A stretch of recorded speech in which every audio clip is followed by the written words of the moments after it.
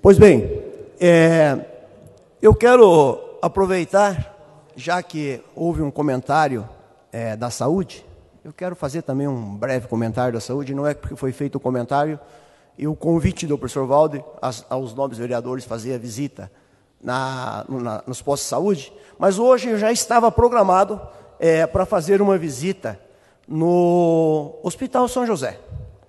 Porque ontem eu fui lá e eu fiquei meio triste. Meio não, bastante triste. Mas nem por isso eu condeno o, o prefeito. Porque o prefeito, o que, que ele tem a ver com isso aí? Ele nomeou as pessoas, as pessoas têm que fazer as obrigações delas. E nem sempre é, o diretor está ali para. É muita gente para fiscalizar ali. E está deixando a desejar o Hospital São José. Infelizmente, hoje eu vou fazer um, um levantamento, vou fazer um trabalho lá no Hospital São José e vou passar direto para o prefeito. Porque a secretária, ela não está dando conta do recado. Ela não está puxando a orelha dos diretores né, para fazer a coisa funcionar. Porque tem pessoas ali esperando 15 dias para uma cirurgia. É, ontem eu fui lá, só uma visita mágica que eu estive lá, rápida. É, um, um, senhor de idade com a clavícula quebrada.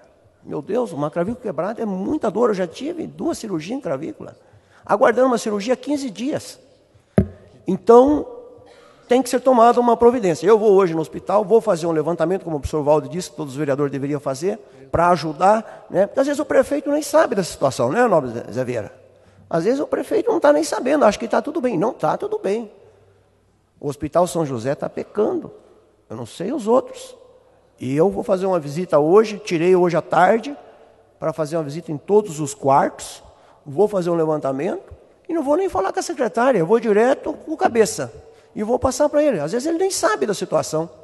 Ele nem sabe que tem um alicate enferrujado lá, porque o diretor às vezes não é cobrado, não não está boa a coisa lá, viu, nobre vereador Nilton? O senhor está certo. Não está boa a coisa. E o professor Walter disse também que os postos de saúde estão tá ruins, vamos dar uma corrida. Né?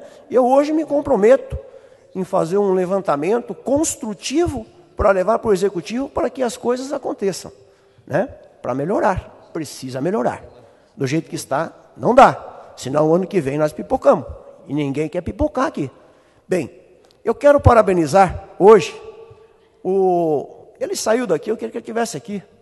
O vereador Joel está ficando mais velho hoje. Eu quero parabenizar o, o, o nobre vereador Joel, né? E, inclusive, ele disse que vai fazer um churrasco para nós hoje, todos os vereadores, inclusive todos que estão aqui presentes, né?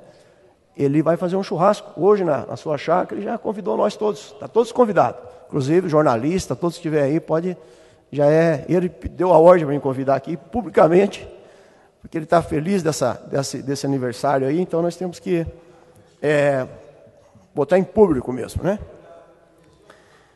E também quero aproveitar que dia 3 de setembro é dia do biólogo.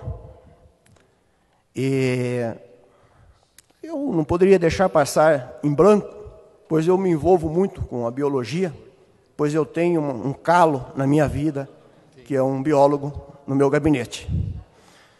Eu só vou ler um trechinho que está na internet. Tenha paciência ao caminhar com ele na rua. É provável que ele faça paradas frequentes. Sempre há uma formiga carregando uma folha gigantesca nas costas ou uma samambaia disposta de uma forma estranha num buraco do muro.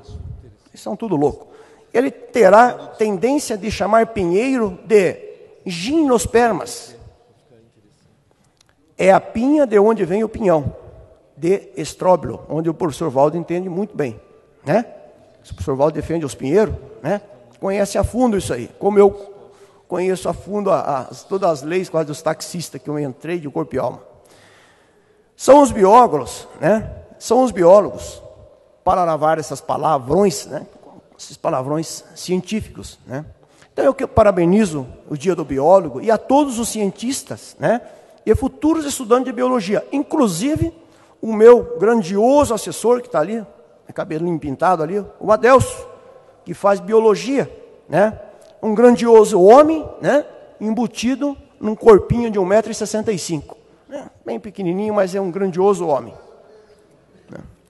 Pois bem, também hoje nós temos aqui a presença né, da engenheira florestal da Bahia, aquela senhora bonita ali, a senhora Tatiana de Oliveira, junto com o Éder Gambetta e o Vinícius Equini.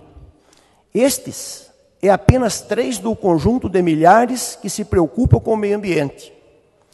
Por sinal, ela trabalha na Bahia, mas ela é paranaense. Apenas trabalha na Bahia. O motivo da visita desses grandes colaboradores com o meio ambiente é para convidar todos os excelentíssimos vereadores para fazer parte do protesto contra os deputados que formam uma lei para desmatar as poucas reservas existentes.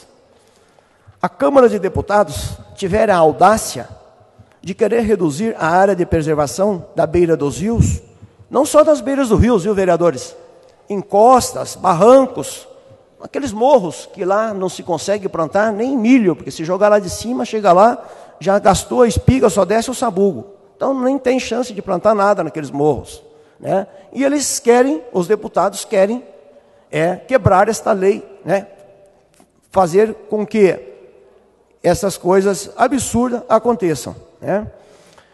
Inclusive, nobre vereador, é, nobre vice-presidente Silvio Monteiro, eles pretendem derrubar a lei 4771 em 1965, essa lei que foi criada para proteger as beiras de rio, inclusive as, as encostas e barrancos. Querem derrubar isso aí. É aquilo que eu digo sempre, professor Valder. Só pensam no bolso, né? e não pensa nas futuras gerações. Nós já estamos acabados com o meio ambiente.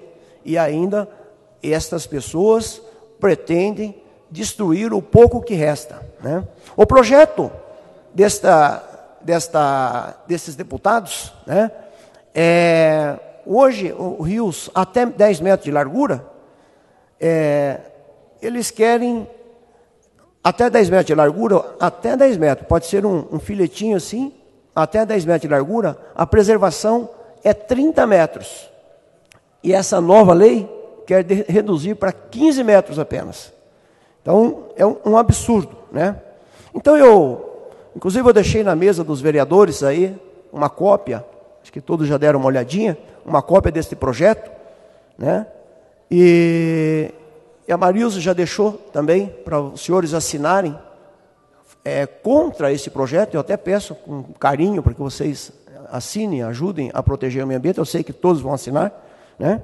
E parabenizo a preocupação da doutora no meio ambiente, a senhora Tatiane, o seu grupo, né, por procurar esta casa. Veio de tão longe para procurar-nos, né, esta casa, e tenho certeza que as suas assinaturas vai fazer a diferença no protesto, né, para que essas coisas aconteçam.